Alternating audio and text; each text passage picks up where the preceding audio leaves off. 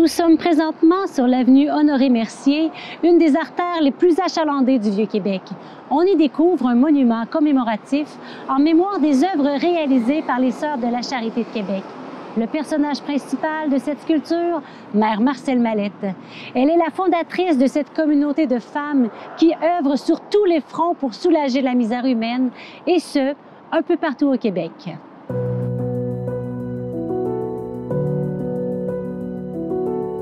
Juste de l'autre côté de la rue se trouve cet immense bâtiment, la Maison Mère Mallette. Par sa vision, son dévouement et son charisme, Marcel Mallette ne se doutait pas qu'elle mettrait de l'avant une institution qui réaliserait une telle offre de services sociaux indispensables au relèvement social de tant de personnes en difficulté. Soins des malades, visite des pauvres à domicile, accueil des orphelins, éducation des enfants pauvres, accueil des vieillards et j'en passe. L'œuvre grandiose de Marcel Mallette et des Sœurs de la Charité nous rejoint encore.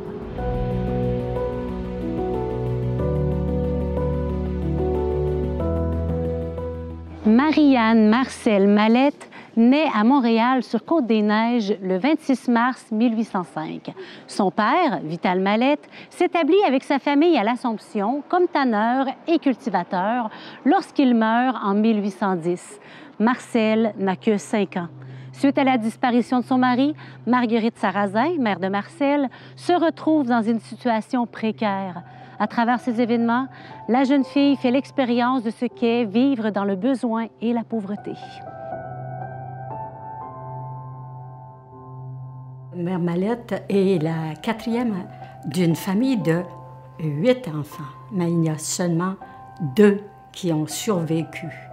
Alors, ce qui veut dire que Mère Mallette a vécu dans un milieu où est-ce qu'on avait beaucoup de deuil à vivre. Elle apprend à vivre avec la pauvreté, particulièrement parce que la mère a hérité des biens lorsque son mari est décédé.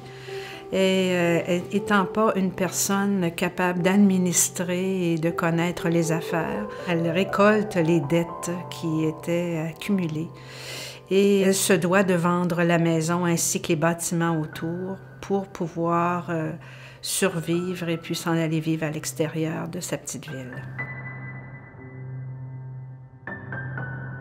Mère Mallette nécessairement vécu dans un climat de pauvreté, peut-être d'insécurité un peu aussi, et dans un milieu de deuil, de misère.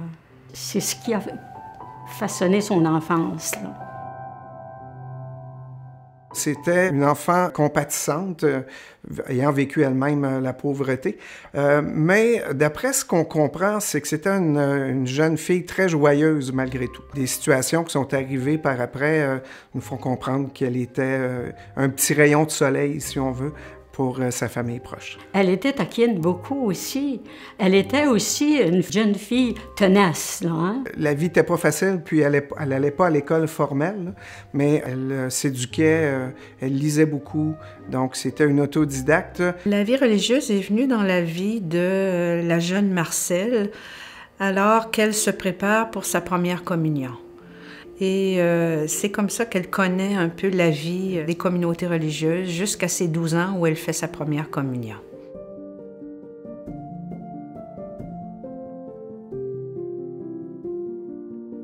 Vers 16 ans, bien, son oncle bien, il voulait la marier et lui présenter des prétendants qui soient selon sa classe. Quand elle a annoncé qu'elle désirait devenir religieuse, ça a été... Euh, les larmes et les larmes de la part de sa famille d'adoption.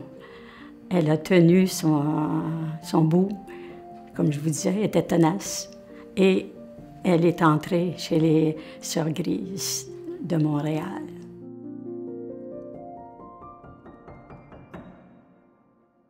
Le carré Diouville, secteur bien connu de la ville de Québec, a été nommé ainsi en l'honneur de Marguerite Diouville, fondatrice des Sœurs Grises de Montréal. Marcel Mallette sait que cette communauté œuvre à l'hôpital général et s'occupe des pauvres à leur ferme de Châteauguay. Et c'est bien ça qui attire irrésistiblement la jeune fille. En 1821, Marcel est embauchée à l'hôpital général à la Pointe-à-Calière pour travailler auprès des malades. C'est là qu'elle entre en contact plus étroit avec les Sœurs de la Charité.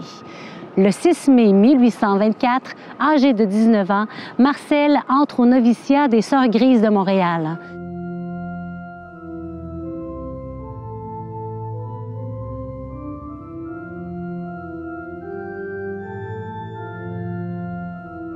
Elle n'a que 17 ans et elle s'offre pour être une, une postulante de service auprès des malades. Alors, elle est placée auprès des malades, euh, des pauvres, ce sont des grands pauvres qui sont dans les hôpitaux.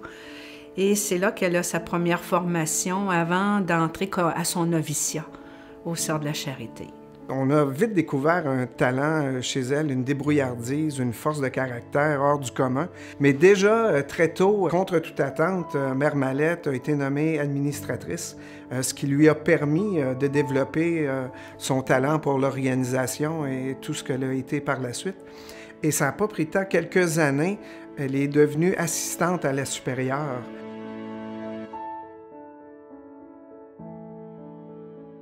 En mai 1848, la Société des Dames charitables catholiques de Québec demande à Monseigneur Turgeon, évêque de Québec, qu'une communauté religieuse prenne en main un orphelinat et une école qu'elle soutienne financièrement. Monseigneur Turgeon se tourne alors vers les Sœurs Grises de Montréal. Cinq religieuses et une novice sont choisies pour mettre sur pied cette nouvelle fondation. Sœur Marcel Mallette est alors élue supérieure du groupe. C'est le 22 août 1849 que la communauté s'installe à Québec. Un défi important les y attend. Le choléra fait rage et euh, il y a près de 1000 personnes dans la ville de Québec qui sont décédées. Parmi les orphelines, il y en a deux déjà qui sont décédées et le, choléra est entré dans, la, maison. Et quand Mère Mallette arrive, Monseigneur euh, veut faire désinfecter la maison avant l'entrée des sœurs. Et ça a surpris Mère Mallette qui s'est dit euh, les sœurs de la charité, on est habitués à plus que ça et c'est pas vrai qu'on va aller se promener dans le Québec, faire du tourisme euh, pendant qu'on a des petites qui sont malades.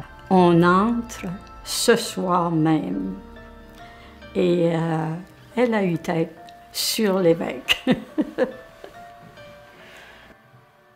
Dès leur premier jour après leur arrivée, elles ont commencé à faire la visite aux malades dans les maisons. Puis allaient faire des veillées auprès des malades et aussi parfois elles devaient rester pour euh, passer la nuit avec ces malades-là. Elles ont eu aussi à, à être responsables d'ouvrir une école pour des jeunes filles pauvres. Et il y avait 250 jeunes filles qui se sont présentées dans les premières semaines. Le nombre d'élèves, d'orphelins hébergés et de veuves démunies ne cesse d'augmenter. Devant l'ampleur des besoins qui pointent à l'horizon, Monseigneur Turgeon et Mère Marcel Mallette envisagent l'édification d'un hospice qui sera à l'époque un des plus gros bâtiments de la ville. C'est cet édifice qui est aujourd'hui nommé la Maison Mère Mallette. Et cette majestueuse chapelle est au cœur de ce complexe grandiose.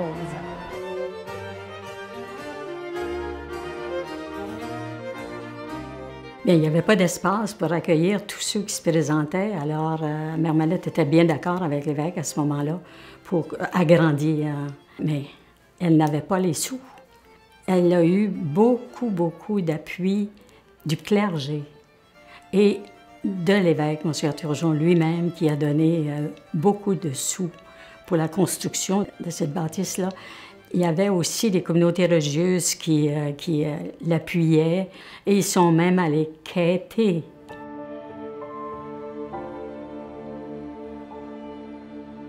On dit que Mère Mallette a tendu la main à un homme riche qui lui aurait craché dans la main et lui aurait dit C'est tout ce que tu mérites, quêteuse.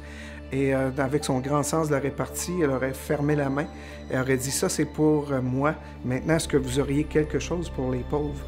Et on dit que cet homme-là est devenu par la suite un grand donateur.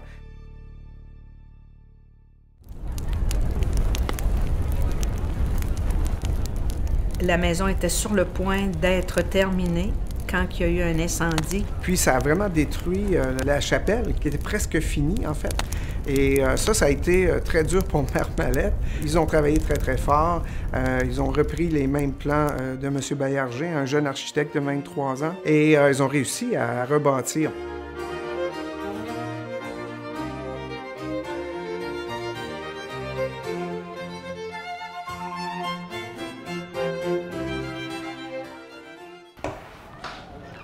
Je me tiens présentement devant une porte que Mère Mallette a elle-même à de multiples reprises empruntée. Cet immense complexe est le refuge de nombreux orphelins, vieillards, malades et personnes appauvries. Mère Mallette continue son travail avec cœur, soutenu par la prière. Mais comme dans bien des projets, si bon soit-il, les élans de sa bonne volonté sont ralentis par les obstacles de la vie.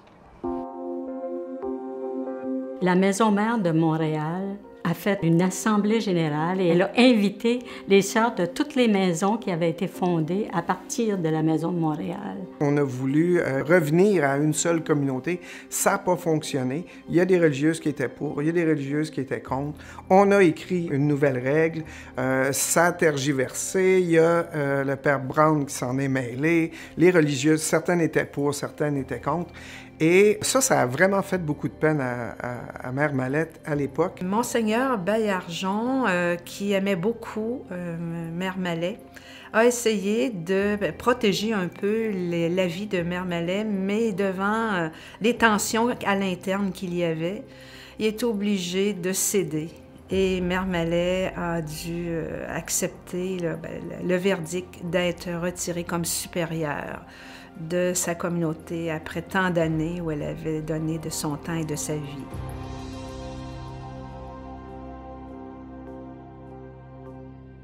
Elle s'est résignée, euh, puis je pense qu'elle a eu une belle fin de vie, faire les choses qu'elle aimait le plus, visiter ses malades, travailler euh, au jardin. Euh, bien sûr, ça s'est gâté à la fin de sa vie, hein, lorsqu'elle est tombée malade. C'est un cancer qu'elle a eu, très dur, mais pourtant elle est restée sereine là-dedans jusqu'au bout de sa vie.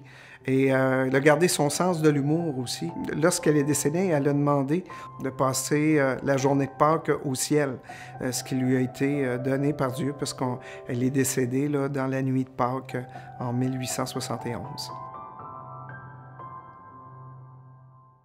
C'est dans sa chambre, ici même à droite du cœur de la chapelle conventuelle des Sœurs de la Charité, que Mère Mallette rend son dernier souffle.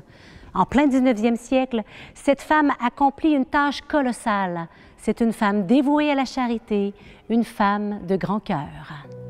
C'était une femme de tête, première affaire. C'était une femme d'affaires, euh, mais tout ça avec une douceur incroyable. C'était toujours euh, défoncer des portes, euh, mais pas rien briser. Je ne sais pas comment elle réussissait. Elle est reconnue euh, par les écrits, par ses filles spirituelles, comme étant une bonne mère. Elle avait beaucoup de tendresse et de douceur. Quand on parle de Mère Mallette, on dit souvent qu'elle était bonne, Mère Mallette. Une bonté compatissante la douceur qu'elle avait avec les enfants aussi, moi, me touche énormément. Avec euh, les vieillards, les personnes âgées. Cette douceur-là qu'elle avait avec euh, les gens petits, les gens malades. une femme extrêmement forte, mais extrêmement douce à la fois.